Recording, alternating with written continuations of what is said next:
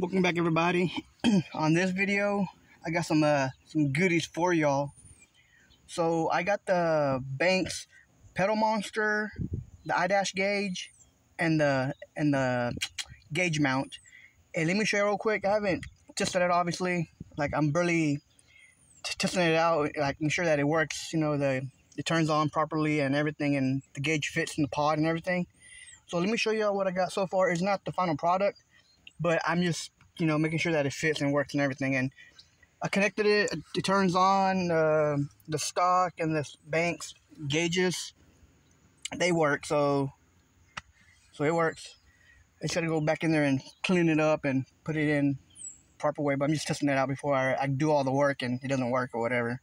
So uh, let me show you what I got going on. Again, it's not the final installed product. I'm just testing it out to make sure that it does work, so that it's not faulty or whatnot. But you know, it, it, it works. So I'll show y'all and then I'll show you the final installed product and then I'll go test it out. But let me show you what, what I got real quick. Again, this is the Banks Pedal Monster for my 18 uh, Ram 3500. So let me show you the product itself. Real quick, yeah, my truck's dirty. I just go back from from work and all this and yeah. So here is the Banks Pedal Monster. This is the box for the pedal monster, but it's not in there because it's sitting over here. It was really easy to connect. You had to just plug in the wires from the pedal monster to the cables and the accelerator and and so on. It's not it's not hard at all. It takes like maybe like two minutes. And for me, I had to get the OBD splitter because I'm gonna run the pedal monster in my ELD and it requires your OBD2 port. And I also got this from Banks as well too the splitter. So once you start installing it you'll see but one goes to this one the, the pedal monster and then that'll be for my ELD again I got this one on Banks as well off their website.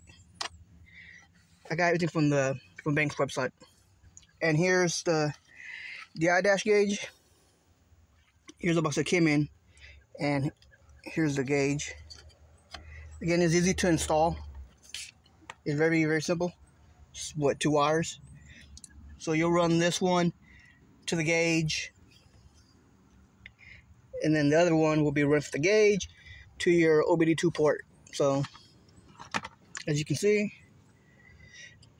that wire runs to your OBD2 port.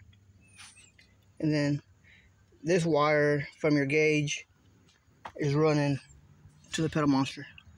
And it has another connector or another port. I guess if you can run another gauge but I'm only running one gauge. And here's the pod I'm going to use.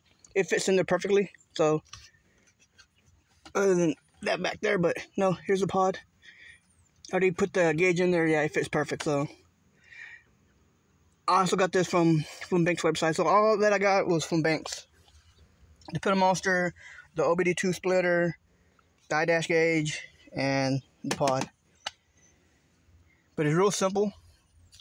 Let me uh, turn it on for y'all so, so, you, so you can see how it turns on. Has a lot of settings too on it too. Let me, let me crank it on. Hopefully you can hear me, but give it something to boot up.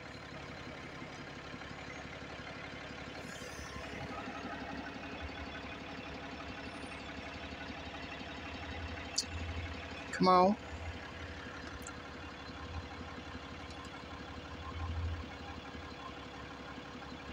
I think the gauge is connecting to the pedal monster. It's blinking.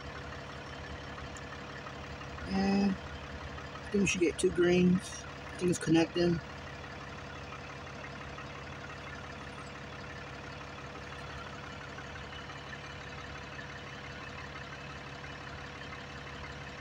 Wasn't doing, that a while ago.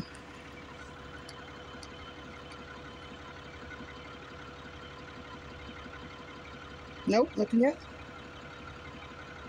Hmm, interesting. Alright, I'll be back. Let me see what's going on. All right, everybody. I don't know. Had to turn the truck off and back on, and yeah, it, well, there, there, there works now.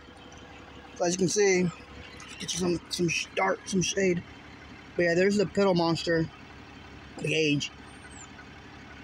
And let me let's see if I can rev it up a little bit so you can see the gauge working.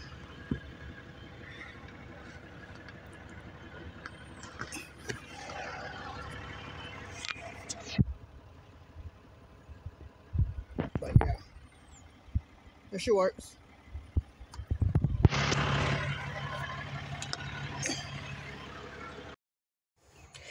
Okay, everybody, if you have a uh, 18 uh, Ram 3500, I'm pretty sure they're all gonna be the same, like the 14, 15, all those year models. So when whenever you're running the two wires for the pedal monster and the gauge, I found the easiest way to do it because like down here's your pedal monster and the OB2 port. So you go right here on the side, just pry it open and open it, and you can run your two cables uh, together for the pedal monster and the OB2 port. Run it through here, and it'll be a clean, clean, uh, clean look. And then make sure you have enough slack. I got slack a little bit, but you can always come back down here and pull a little bit. But as long as that ain't, you know, tangled in here, so you can run it through here. And then once you get it, you can close it back up. Let me close it. And you don't, and it's clean look. You want know the two wires are there other than here, but have this pillar mo- uh, pillar pod, gauge pod, and it's gonna cover it away, so you won't even see these cables. And you might have to run it here really tight, close to the door weather strip, but it does not pinch. Already close the door; it does it does not pinch, so you're fine. But yeah, I found it'd be easier just to run it through here. Just just pry it open, little tabs, and you can run it through there. And down here, you can hardly see the wires. Whenever I get the pod uh, installed and everything, and I have the enough wire that I need, enough cable, then down here I will tuck away all this extra slack and make, make it look like it's not there. But yeah, guys, pop this open, run your two uh, your two cables through here, and it'll be looking like this. You might have to remove this. I did because it helped out. It helped uh, run these cables through here. So you might have to remove this arm arm handle. But if you got the uh, the gauge, the pod, you're gonna have to do it, remove it anyways. But yeah. All right, guys. Quick tip: run it through there. Let me finish up, and I'll get back with y'all. All right, and here is the complete finish install. Like I said, run the cables through here. See that clean look? You don't see no cables. They're all hidden, tucked away. And then down here, you got to do your best that you can to zip time and get them out of get them out of your way. And you know, it just uh, you got to figure that one out. But it's not the hard. It's clean look. I already tested it to where my feet don't uh, get tangled and all that stuff, so it's good. And here's the gauge in the pot, and uh, looks good, man. Then we got power. So on mine, like, oh man, like this has so many different settings. So on mine, I got the miles per hour, the torque, and the battery. Cause on, well, it's off, but over here, it don't show you the battery unless you go in there and look for it specifically. But this one is telling you your voltage at all time, and then the torque, because I want to see how much torque I'm putting out when I'm when I'm towing stuff like that. But there's so many settings, uh, coolant temps, trans temp. There's so many different settings. Like oh, it's a lot. So you gotta just figure out what you want, and then your um, the pedal sensitivity. Let me show you real quick. Let me turn the truck on and uh, show y'all. But yeah, this is, this is awesome. I love it.